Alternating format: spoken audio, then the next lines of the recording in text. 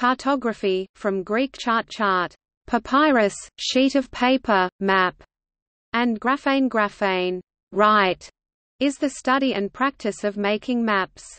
Combining science, aesthetics, and technique, cartography builds on the premise that reality can be modeled in ways that communicate spatial information effectively.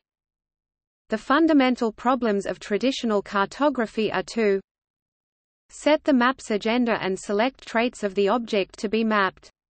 This is the concern of map editing. Traits may be physical, such as roads or land masses, or may be abstract, such as toponyms or political boundaries. Represent the terrain of the mapped object on flat media. This is the concern of map projections. Eliminate characteristics of the mapped object that are not relevant to the map's purpose. This is the concern of generalization. Reduce the complexity of the characteristics that will be mapped. This is also the concern of generalization. Orchestrate the elements of the map to best convey its message to its audience.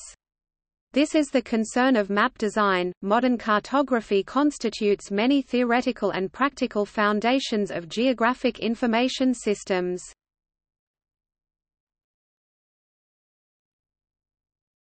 Topic: History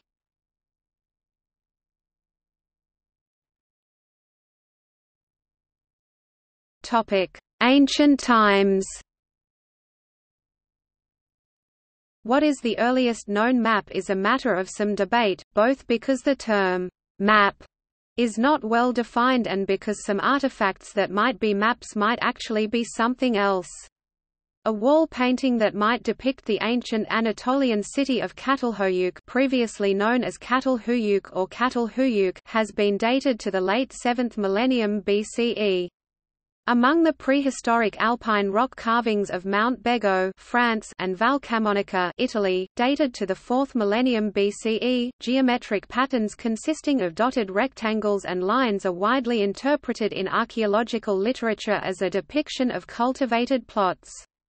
Other known maps of the ancient world include the Minoan House of the Admiral wall painting from c. 1600 BCE, showing a seaside community in an oblique perspective, and an engraved map of the Holy Babylonian city of Nippur, from the Kassite period 14th–12th centuries BCE. The oldest surviving world maps are from 9th century BCE Babylonia. One shows Babylon on the Euphrates, surrounded by Assyria, Urartu and several cities, all, in turn, surrounded by a bitter river, Oceanus. Another depicts Babylon as being north of the center of the world. The ancient Greeks and Romans created maps from the time of Anaximander in the 6th century BCE. In the 2nd century CE, Ptolemy wrote his treatise on cartography, Geographia. This contained Ptolemy's world map, the world then known to Western society. As early as the 8th century, Arab scholars were translating the works of the Greek geographers into Arabic. In ancient China, geographical literature dates to the 5th century BCE. The oldest extant Chinese maps come from the state of Qin, dated back to the 4th century BCE, during the Warring States period. In the Book of the Xin Yixiang Fa Yao, published in 1092 by the Chinese scientist Su Song, a star map on the equidistant cylindrical projection. Although this method of charting seems to have existed in China even before this publication and scientist, the greatest significance of the star maps by Su Song is that they represent the oldest existent star maps in printed form. Early forms of cartography of India included depictions of the pole star and surrounding constellations. These charts may have been used for navigation.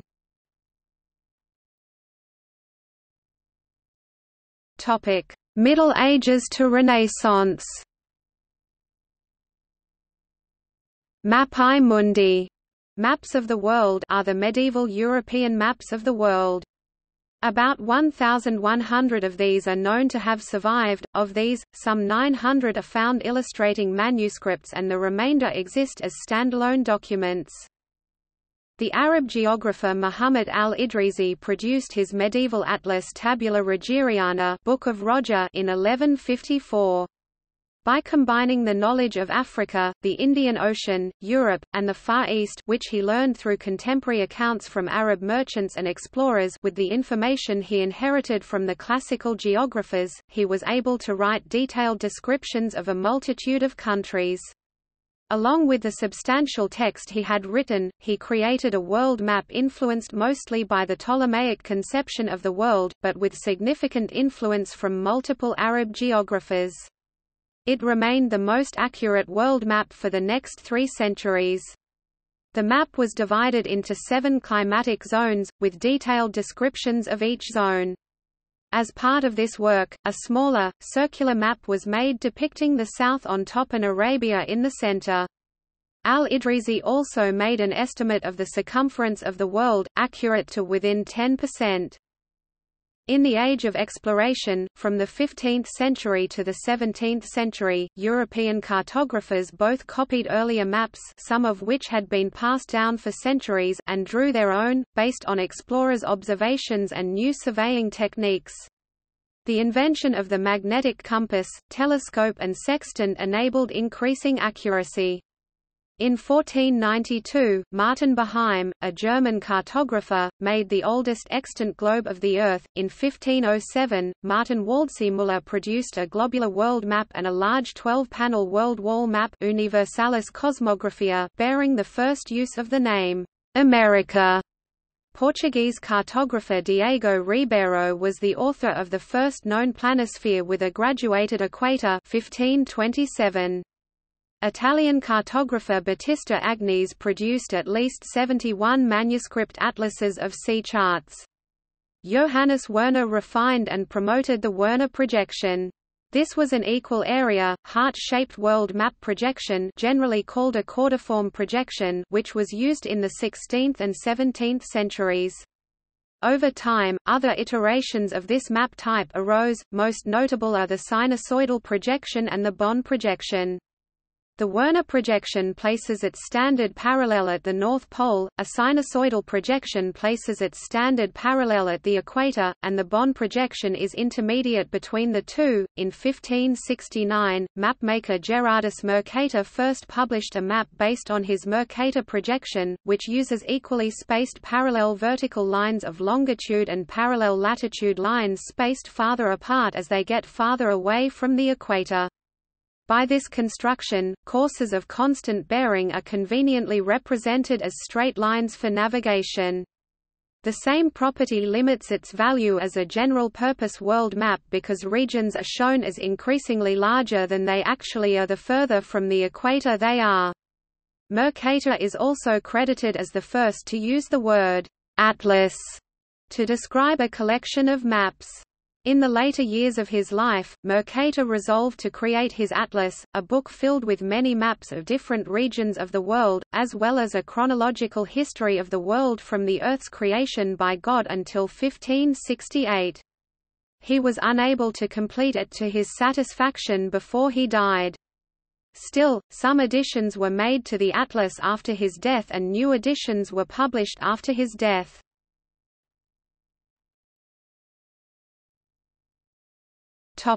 Modern times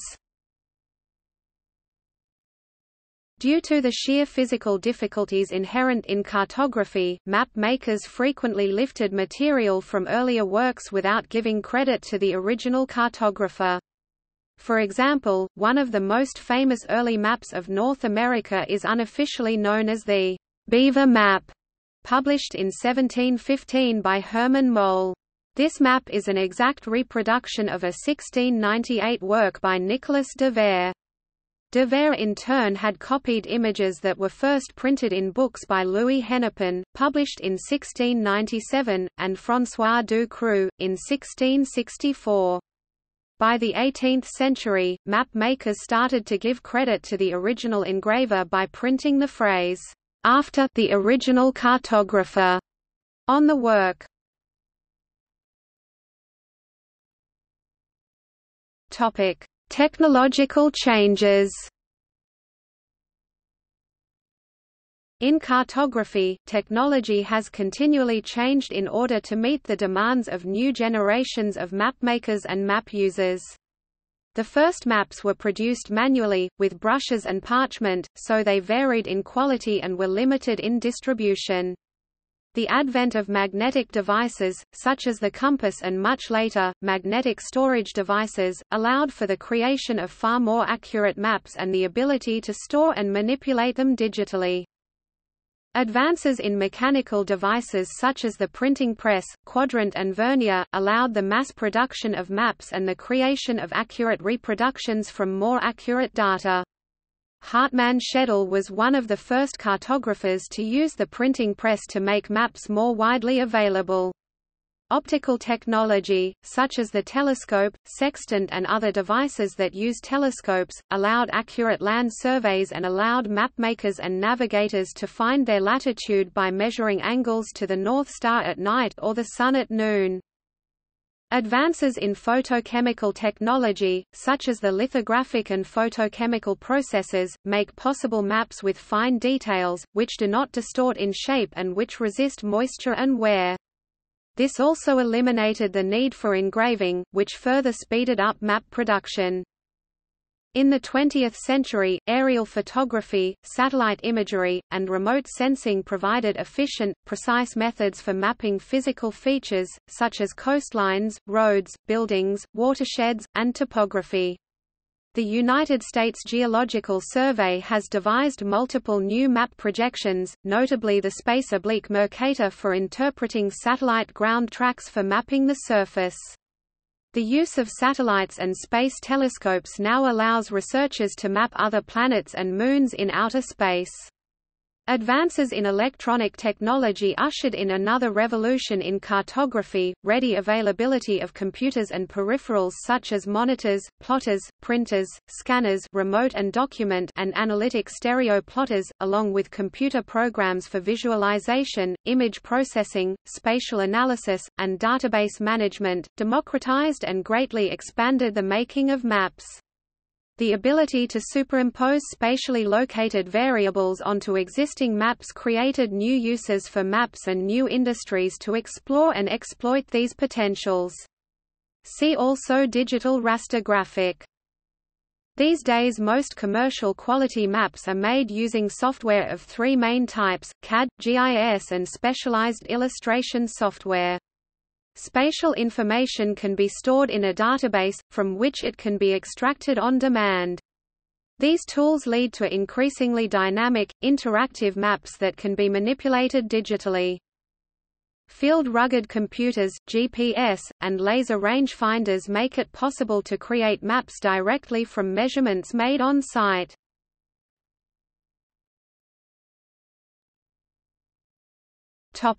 Deconstruction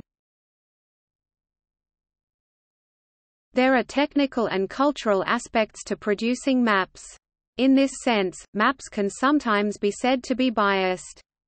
The study of bias, influence, and agenda in making a map is what comprise a map's deconstruction. A central tenet of deconstructionism is that maps have power. Other assertions are that maps are inherently biased and that we search for metaphor and rhetoric in maps. It is claimed that the Europeans promoted an epistemological understanding of the map as early as the 17th century. An example of this understanding is that European reproduction of terrain on maps reality can be expressed in mathematical terms, that systematic observation and measurement offer the only route to cartographic truth. 17th-century map makers were careful and precise in their strategic approaches to maps based on a scientific model of knowledge. Popular belief at the time was that this scientific approach to cartography was immune to the social atmosphere. A common belief is that science heads in a direction of progress, and thus leads to more accurate representations of maps. In this belief European maps must be superior to others, which necessarily employed different map-making skills. There was a not cartography land where lurked an army of inaccurate, heretical, subjective, valuative, and ideologically distorted images. cartographers developed a sense of the other in relation to non-conforming maps.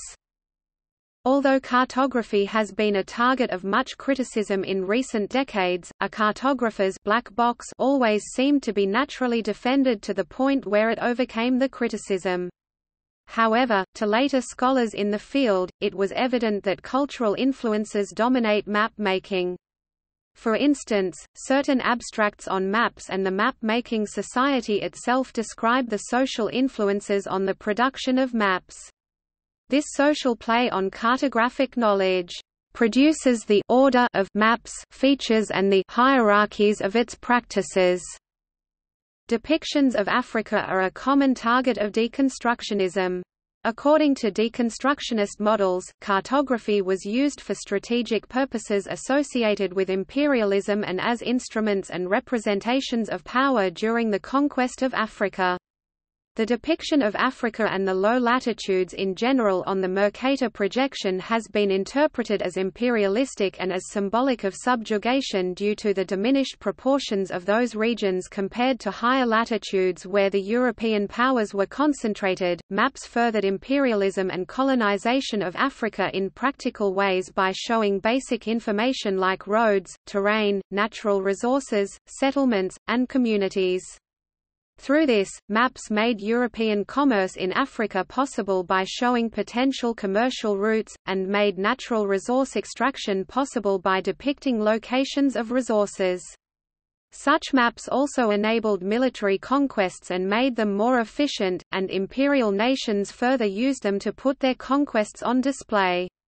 These same maps were then used to cement territorial claims, such as at the Berlin Conference of 1884–1885. Before 1749, maps of the African continent had African kingdoms drawn with assumed or contrived boundaries, with unknown or unexplored areas having drawings of animals, imaginary physical geographic features, and descriptive texts.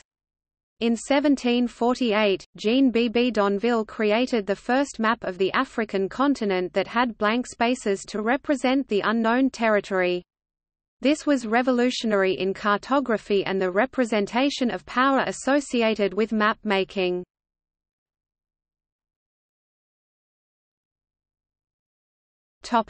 Map types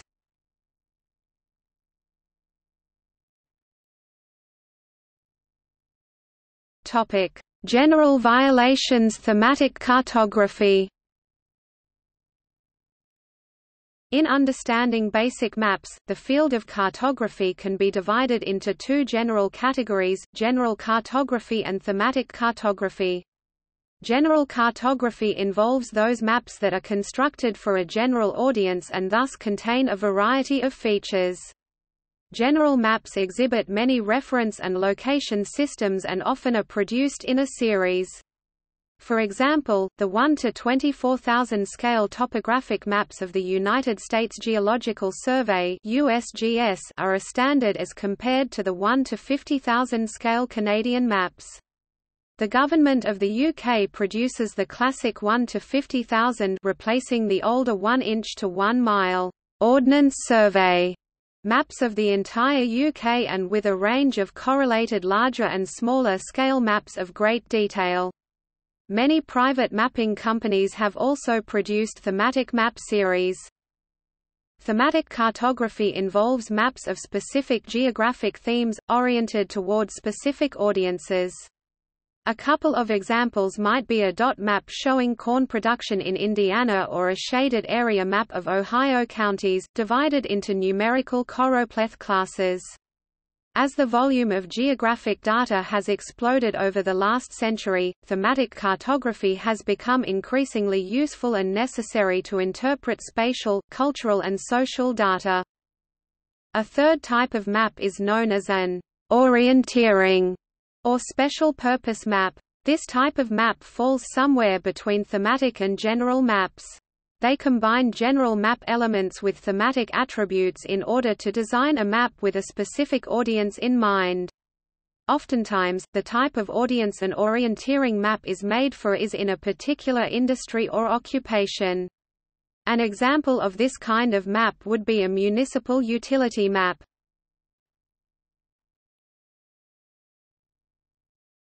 Topic: Topographic vs topological. A topographic map is primarily concerned with the topographic description of a place, including especially in the 20th and 21st centuries the use of contour lines showing elevation. Terrain or relief can be shown in a variety of ways see cartographic relief depiction. In the present era, one of the most widespread and advanced methods used to form topographic maps is to use computer software to generate digital elevation models which show shaded relief. Before such software existed, cartographers had to draw shaded relief by hand.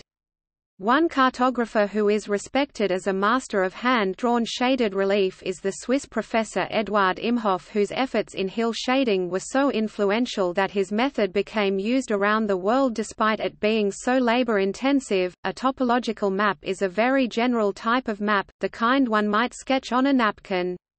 It often disregards scale and detail in the interest of clarity of communicating specific route or relational information.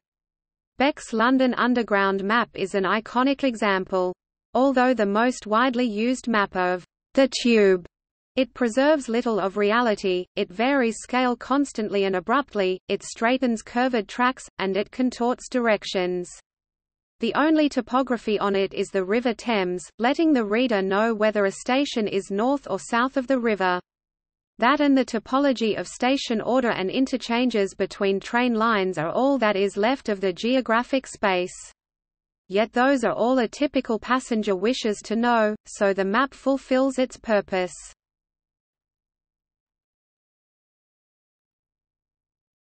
Topic: Map design.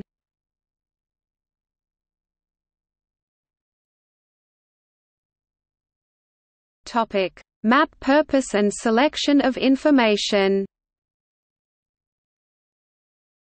Arthur H. Robinson, an American cartographer influential in thematic cartography, stated that a map not properly designed, "...will be a cartographic failure." He also claimed, when considering all aspects of cartography, that, "...map design is perhaps the most complex." Robinson codified the mapmaker's understanding that a map must be designed foremost with consideration to the audience and its needs. From the very beginning of mapmaking, maps have been made for some particular purpose or set of purposes. The intent of the map should be illustrated in a manner in which the percipient acknowledges its purpose in a timely fashion. The term percipient refers to the person receiving information and was coined by Robinson. The principle of figure ground refers to this notion of engaging the user by presenting a clear presentation, leaving no confusion concerning the purpose of the map. This will enhance the user's experience and keep their attention.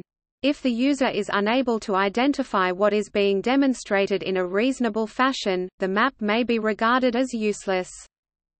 Making a meaningful map is the ultimate goal. Alan MacEachren explains that a well-designed map is convincing because it implies authenticity. 1994, pp. 9. An interesting map will no doubt engage a reader. Information richness or a map that is multivariate shows relationships within the map. Showing several variables allows comparison, which adds to the meaningfulness of the map. This also generates hypothesis and stimulates ideas and perhaps further research. In order to convey the message of the map, the creator must design it in a manner which will aid the reader in the overall understanding of its purpose. The title of a map may provide the needed link necessary for communicating that message, but the overall design of the map fosters the manner in which the reader interprets it Monmonier, 1993, pp. 93. In the 21st century it is possible to find a map of virtually anything from the inner workings of the human body to the virtual worlds of cyberspace. Therefore, there are now a huge variety of different styles and types of map, for example, one area which has evolved a specific and recognizable variation are those used by public transport organizations to guide passengers, namely urban rail and metro maps, many of which are loosely based on 45-degree angles as originally perfected by Harry Beck and George Dow.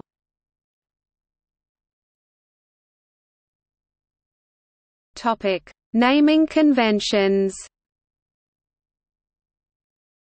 Most maps use text to label places and for such things as the map title, legend and other information. Although maps are often made in one specific language, place names often differ between languages. So a map made in English may use the name Germany for that country, while a German map would use Deutschland and a French map Allemagne. A non-native term for a place is referred to as an exonym. In some cases the correct name is not clear.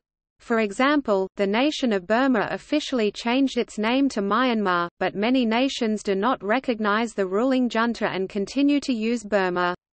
Sometimes an official name change is resisted in other languages and the older name may remain in common use.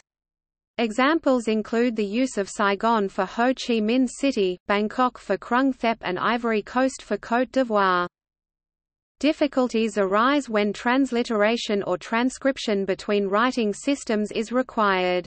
Some well-known places have well-established names in other languages and writing systems, such as Russia or Ruland for Rossia, but in other cases a system of transliteration or transcription is required. Even in the former case, the exclusive use of an exonym may be unhelpful for the map user. It will not be much use for an English user of a map of Italy to show Livorno only as Leghorn, when road signs and railway timetables show it as Livorno. In transliteration, the characters in one script are represented by characters in another. For example, the Cyrillic letter R is usually written as R in the Latin script, although in many cases it is not as simple as a one-for-one -one equivalence. Systems exist for transliteration of Arabic, but the results may vary. For example, the Yemeni city of Mocha is written variously in English as Mocha, Al-Muka, Al-Muka, Mocha and Mocha. Transliteration systems are based on relating written symbols to one another, while transcription is the attempt to spell in one language the phonetic sounds of another. Chinese writing is now usually converted to the Latin alphabet through the pinyin phonetic transcription systems. Other systems were used in the past, such as Wade-Giles, resulting in the city being spelled Beijing on newer English maps and Peking on older ones. Further difficulties arise when countries, especially former colonies, do not have a strong national geographic naming standard. In such cases, cartographers may have to choose between various phonetic spellings of local names versus older imposed, sometimes resented, colonial names. Some countries have multiple official languages, resulting in multiple official place names. For example, the capital of Belgium is both Brussels and Brussels. In Canada, English and French are official languages and places have names in both languages. British Columbia is also officially named La Colombie-Britannique. English maps rarely show the French names outside of Quebec, which itself is spelled Quebec in French. The study of place names is called toponymy, while that of the origin and historical usage of place names as words is etymology. In order to improve legibility or to aid the illiterate, some maps have been produced using pictograms to represent places. The iconic example of this practice is Lance Wyman's early plans for the Mexico City Metro, on which stations were shown simply as stylized logos. Wyman also prototyped such a map for the Washington Metro, though ultimately the idea was rejected. Other cities experimenting with such maps are Fukuoka, Guadalajara and Monterrey.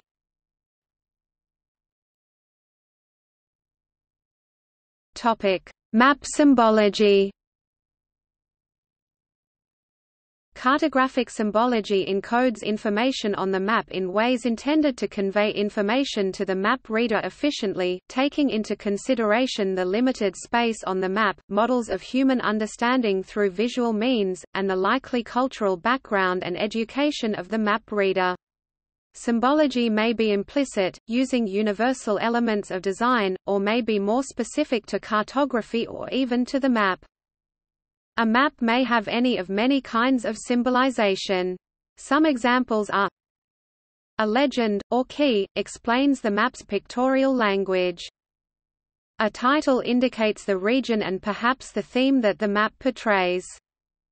A neatline frames the entire map image. A compass rose or north arrow provides orientation. An overview map gives global context for the primary map. A bar scale translates between map measurements and real distances. A map projection provides a way to represent the curved surface on the plane of the map. The map may declare its sources, accuracy, publication date and authorship, and so forth. The map image itself portrays the region. Map coloring is another form of symbology, one whose importance can reach beyond aesthetic.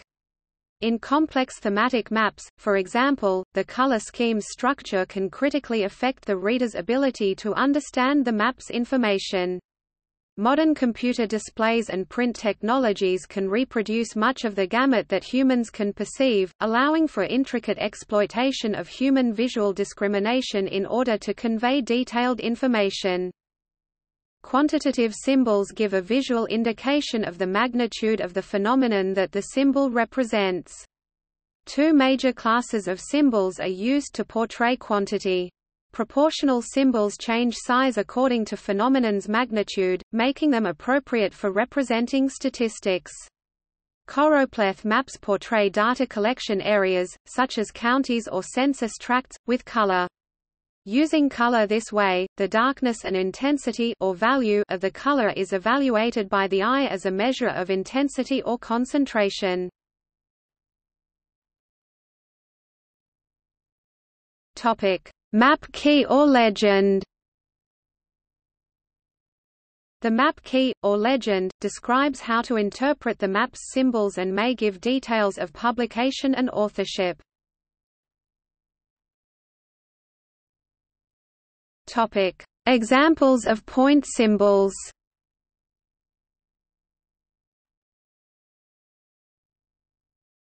Topic: Map labeling. Most maps label features so that the map reader can know features' names. For example, country names may be printed on a world map, each label within the outline of the country it names. Features and background may be in any color, which can make reading labels printed over them harder to read than reading text from a book. Two traits of good labels are legibility and easy feature association. In order for a label to be legible, it must have a type, size and color that are easy to read. Ideally, a label would not interfere with other map features or labels. A halo may be placed around the label to contrast it against the background. A label must also be easily associated with the feature it names, regardless of the feature's category or extent. Choosing a location for a label to enhance this association while avoiding clutter and conflict with other labels is an art that incorporates many techniques. One technique is to use a different font per category of feature. For example, using an italicized, dark blue font for a water label can suggest waves. Or, labels for contour lines can be thin and have the same color as the contours. In difficult cases where there is not enough space to place the label near the feature to form an unambiguous association, a leader line can connect the label to the feature.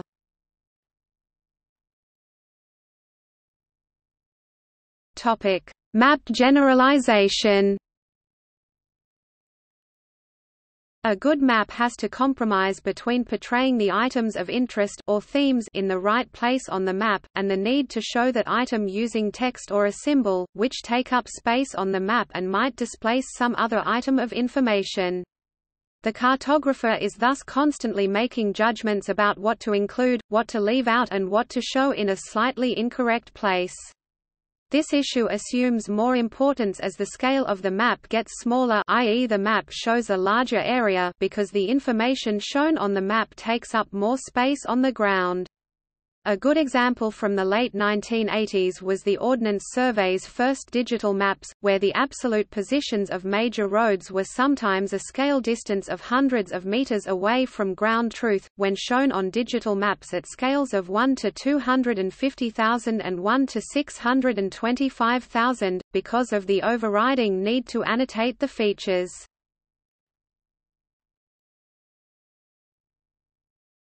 Topic Map projections The Earth being spherical, any flat representation generates distortions such that shapes and areas cannot both be conserved simultaneously, and distances can never all be preserved. The mapmaker must choose a suitable map projection according to the space to be mapped and the purpose of the map.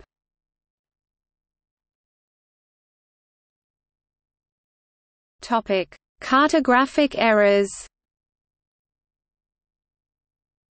Some maps contain deliberate errors or distortions, either as propaganda or as a watermark to help the copyright owner identify infringement if the error appears in competitors' maps. The latter often come in the form of non-existent, misnamed, or misspelled trap streets other names and forms for this are paper townsites, fictitious entries, and copyright Easter eggs. Another motive for deliberate errors is cartographic vandalism, a mapmaker wishing to leave his or her mark on the work. Mount Richard, for example, was a fictitious peak on the Rocky Mountains Continental Divide that appeared on a Boulder County, Colorado map in the early 1970s. It is believed to be the work of draftsman Richard Ciacci. The fiction was not discovered until two years later. Sandy Island New Caledonia is an example of a fictitious location that stubbornly survives, reappearing on new maps copied from older maps while being deleted from other new editions. See also